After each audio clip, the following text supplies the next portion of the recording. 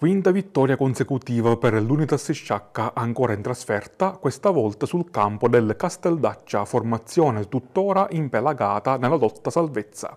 1-2 il risultato finale in favore dei neroverdi, ottenuto in rimonta al termine di un match gagliardo e ben giocato.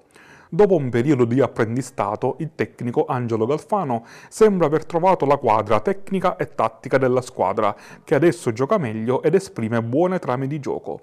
Tra i titolari confermati i giovani Graci e Niosi, con Nebaldè invece inizialmente in panchina. Il Casteldaccia si è portato subito in vantaggio al terzo minuto con Monti.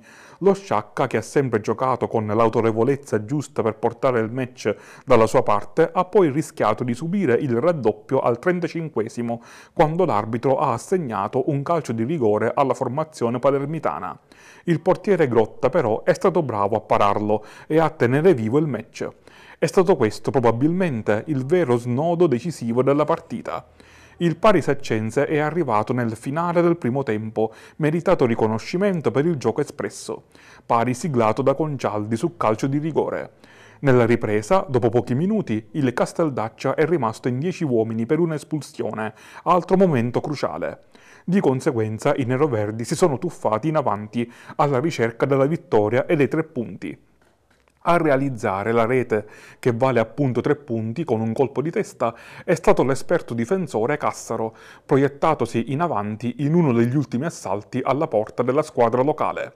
A tre giornate dalla fine, i ragazzi di Galfano hanno acciuffato la quarta posizione ed ora è lecito puntare, perché no, alla terza piazza. Un filotto che da un lato certifica l'ottimo momento della squadra e dall'altro non fa che aumentare rimpianti per via di una prima parte di torneo sicuramente al di sotto delle aspettative, con diversi punti persi e tre cambi di allenatore.